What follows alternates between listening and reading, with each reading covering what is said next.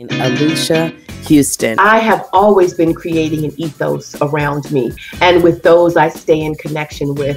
And a lot of times we as high operating women in leadership, running businesses, in corporations, in, in senior leaders, we are in ethoses where our voices are not heard or we don't bring our voices forward. See, because what I want you to understand as a woman, you listen, the table is better because you're seated at it.